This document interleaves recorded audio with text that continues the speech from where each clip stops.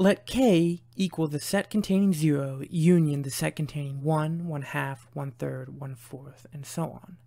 Show K is compact directly from the definition of compact without using Heine-Borel.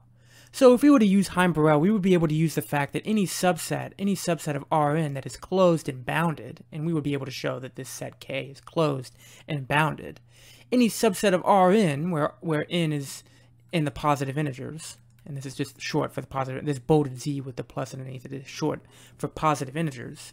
Any subset of Rn is that is closed and bounded is also compact.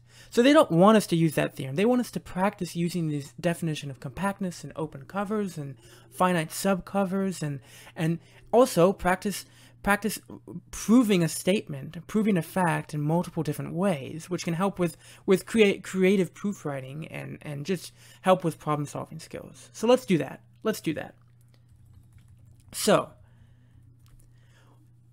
if, if G alpha is an open cover of K, and we can show if we can and if, and if we can show and if we can show that G alpha this set, this collection of open subsets, this collection of open sets, this collection of open sets whose union contains K. That's what it means for, for this collection of open sets to be an open cover. It means for the, the union of all of these sets in this, this collection of open sets to contain K. So if this collection of open sets contains, if we're able to show that that collection of open sets has a finite subcover, that is to say there exists, there exists a finite number there exists a finite sub-collection. You can also think of this, instead of the word sub-collection, you can also think of this, this is a set of sets. So if there's a subset of this set of sets, such that the union of all the sets in that subset contain K, or sometimes you also hear there exists a finite sub-collection that is also, that's also, also an open cover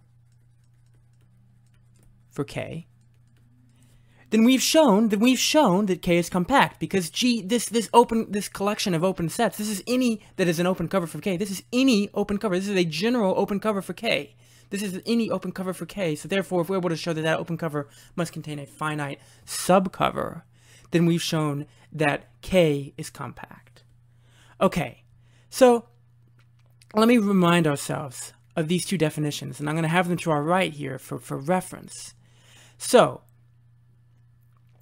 if, if K is contained, if K is contained in an open cover, open cover, say,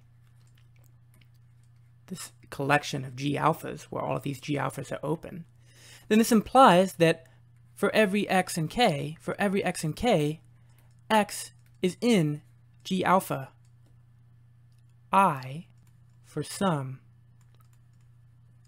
alpha i in our indexing set i. And this indexing set is a way to index all of these all of these G alphas in here. And the reason this is true is because K, if K is contained in the union of all of these open sets, then that, that implies that K is a subset of the union of all of these alphas for each alpha and I, for every alpha and I. K is contained in that union of all of these G alphas. So that means that for every K, for every X in K, X is in G alpha I for some alpha I in our indexing set I. Okay. So this implies, this implies that zero is in some G alpha J for some for some, I could also write it like this. Instead of referencing referencing the G alpha J through its index, I could say for some G alpha J that's contained in the set of open sets G alpha. So we know that 0 is contained in some G alpha J, which is an open set, for some G alpha J in our collection of open sets. Now, our I'll refer you to the right here for our definition of an open set, if you if you don't remember, but or oh, for your reference. But since G alpha J is open, and since zero is any point in G alpha J, then that implies by the definition of open set, of an open set, that implies that there exists, there exists an open ball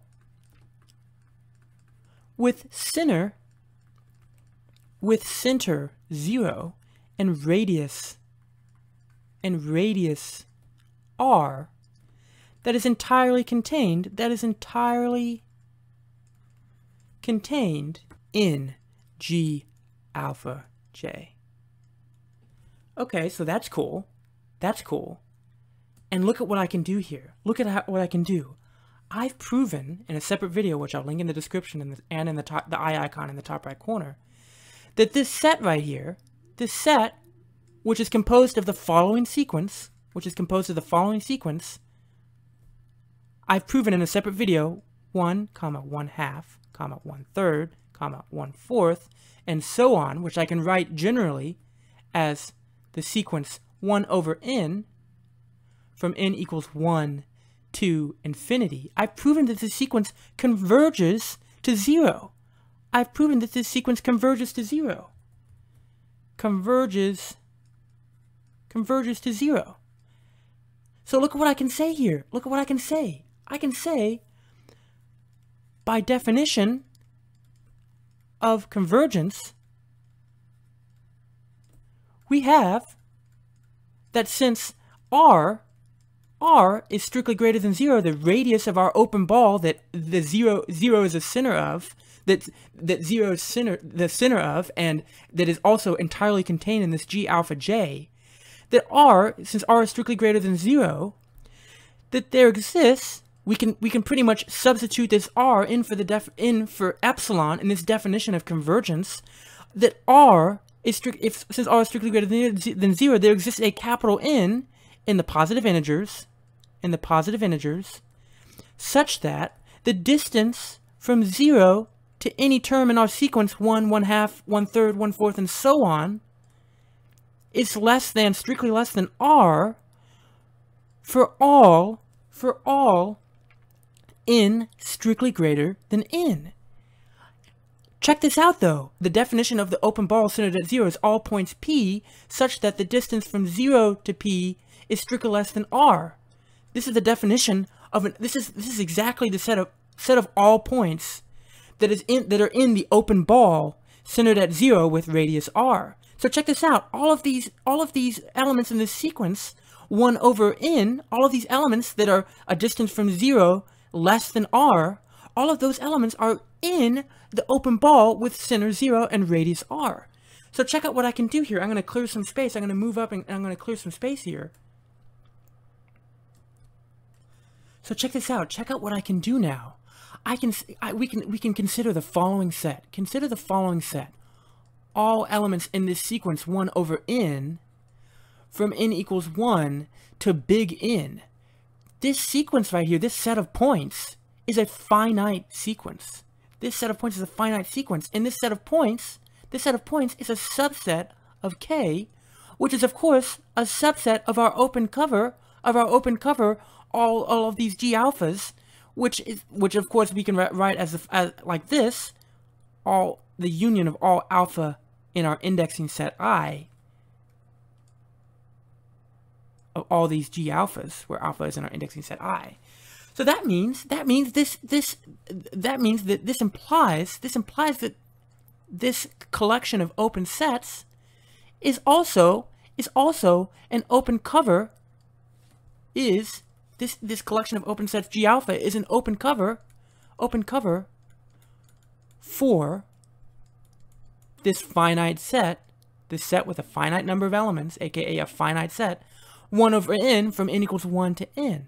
But check this out, I've proven in a separate video, again, which I'll link in the in the description in the top right corner here, that that the eye icon in the top right corner, I've proven in a separate video that any finite set, any finite set is compact. Any finite set is compact. Any finite set set is compact. And what does that mean? What does that mean? Well, that means that for any open cover of, of a finite set, for any open cover of a finite set, that that open cover, that open cover connects, uh, uh, that open cover contains a finite subcover for that set.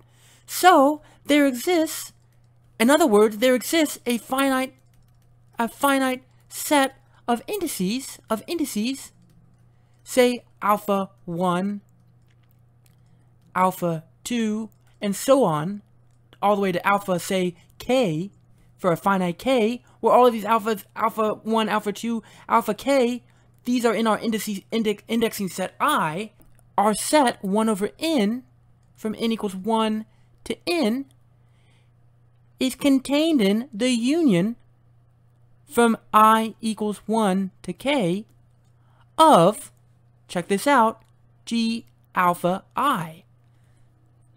So that's cool. That's really cool, but check this out. Let me clear some room here to make room for my final point. So check this out. If I consider the set the union from i equals 1 to k of the g alpha i's, unioned with g alpha j, look at what this look at what this does. Look at what this does. Well, g alpha j, g alpha j contains the open ball, the open ball centered at 0 which contains all points, all points from all points P such that the distance from 0 to P is less than R, which contains all points, as I've shown below, by the, by, by the convergence of this sequence 1, 1 half, 1 third, 1 fourth, and so on. This open ball contains all points 1 over n from 0, excuse me, from n, n equals n plus 1 to infinity, n equals n plus 1 to infinity, union 0, because 0 is the center of this open ball. So in other words, and this, this set, this set right here, 1 over n, from n equals n plus 1 to infinity, union the set containing 0, this should be the set containing 0 here. Union, this set, 1 over n, 1 over n, from n equals 1 to n, this is equal to k. This is equal to k. And if I union these two guys together, if I union these two guys together, since g alpha sub j contains this set, and this set right here contains this set, then I I've just found a finite union of of sets from our collection of open sets that, that contains K. That is to say, I found a finite subcover for K. Again, because this set right here, that contains, that contains this set right here, 1 over n from n equals 1 to n, and this set right here that contains, I'm writing my, I'm writing my, um, I'm writing my subset sign, which I usually write horizontally. I'm writing them vertically here, just so you don't get mixed up. This is these are not union signs. If you tilt your head to the left, they're subset signs. This this set right here, this G alpha J, this contains, as I've shown through this series of of containment um, subset containments here, this contains the set one over n, in from n equals n plus one to infinity union 0 because it contains the open ball centered at 0 and with radius r which contains all this this set right here which contains this set. And these two sets together these two sets together are k. So therefore the union of these two sets the union of these two sets which is a union of a finite number of sets contains k so therefore k has a finite subcover